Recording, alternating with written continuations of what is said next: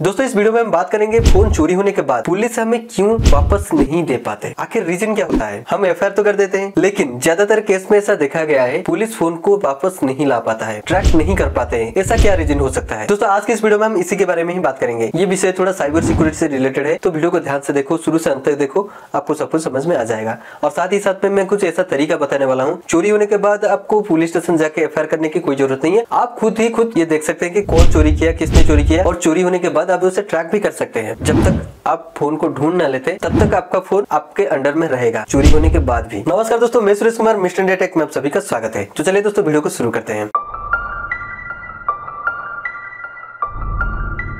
दोस्तों, सबसे पहले चोरी होने के बाद आप क्या करते हैं? पुलिस थाने में जाकर एफ़ करते हैं। एफ़ करने के बाद आपको फ़ोन कुछ ही देर में या कुछ ही दिन में वापस मिल जाता है। लेकिन लेकिन लेकिन, सबसे पहले मैं आपको बता दूँ कि पुलिस ट्रैक करता कैसे है। दोस्तों, उसके आई नंबर से। हमारा फ़ोन का जो आईएमईआई नंबर होता है, उसी के थ्रू ही वो ट्रैक करते हैं। पुलिस खुद ट्रैक नहीं करते हैं, बल्कि पुलिस के पास बहुत सारे साइबर सिक्योरिटी एक्सपर्ट होते हैं। जैसे की मैं। अरे नहीं नहीं नहीं नहीं। मैं इतना बड़ा साइबर सिक्योरिटी एक्सपर्ट तो नहीं हूँ। अब ये कितना बड़ा झूठ बोलता है इसने तो खुद बताया था मुझे की ये पुलिस से भी बड़ा हैकर है। पुलिस जो नहीं कर सकता ये वो कर सकता नहीं नहीं नहीं नहीं मैं ऐसा नहीं बताता।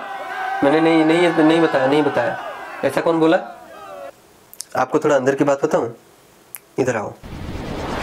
मैं सिर्फ़ इंस्टाग्राम पर ही आपको ये सब बता सकता हूँ कि मैं क्या क्या कर सकता हूँ। अगर दोस्तों साइबर सिक्योरिटी से रिलेटेड आपको कुछ भी पूछना है तो नीचे मैंने मेरा इंस्टाग्राम का लिंक दिया है। आप जाकर मुझे वहाँ से फॉलो करके डीएम करके मुझे पूछ सकते हैं। और दोस्तों फेसबुक हैक इंस्टाग्राम हैक ये सब मैं नहीं करता।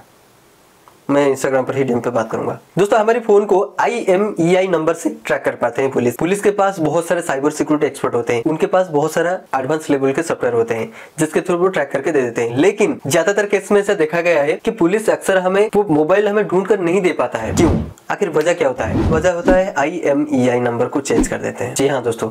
अक्सर चोरी होने के बाद सबसे पहले क्या करते हैं? फ़ोन को स्विच अप कर देते हैं। उसके बाद किसी भी अच्छे हैकर के पास जाके आई एम आई नंबर को किसी भी तरह से वो चेंज कर लेते हैं। लेकिन, अगर हैकर नहीं है तो ये काम मोबाइल की दुकान में भी होता है। मतलब जो रिपेयर शॉप होते हैं, उसमें भी ये होता है। वो लोग इसे आसानी से कर सकते हैं, क्योंकि ऐसा मार्केट में बहुत सारा टूल आ चुका है, जिसके मदद से आई एम ई आई नंबर को पंद्रह मिनट पे चेंज किया जा सकता है। और वो यही रीजन है, जिसके वजह से पुलिस हमें अक्सर ट्रैक करके नहीं दे पाता है वो मोबाइल दोस्तों, मैं आशा करता हूँ, आप लोगों को ये समझ में आ गया होगा कि अक्सर पुलिस हमें चोरी किया गया फ़ोन को ट्रैक करके क्यों नहीं दे पाता है। दोस्तों, ऐसा एक तरीका है, जिसके मदद से आप चोरी किया गया फ़ोन को आसानी से ढूंढा जा सकता है। लेकिन चोरी होने से पहले, यानी कि अभी से, आप अगर उस फ़ोन में वो तरीका को आजमा क्षमता नहीं हो तो शायद ही चोरी होने के बाद आप कुछ भी नहीं कर सकेंगे। इसलिए चोरी होने से पहले मैं जो तरीके अगले वीडियो में बताने वाला हूँ, उसे ध्यान से देखो और ध्यान से उस तरीके को अपने फ़ोन में अप्लाई कर लो, जिसके मदद से क्या होगा, चोर तो फ़ोन को चोरी तो कर लेगा, दुनिया के किसी भी कोने में आपके फ़ोन को वो छुपा कर रख ले, लेकिन आप उसे ऐसे चुटके में ट्रैक कर सकते हैं। दोस्तों, वो तरीका मैं अगले वीडियो में बता दूँगा, और हाँ दोस्तों, याद रखना, ये नीचे मेरा इंस्टाग्राम का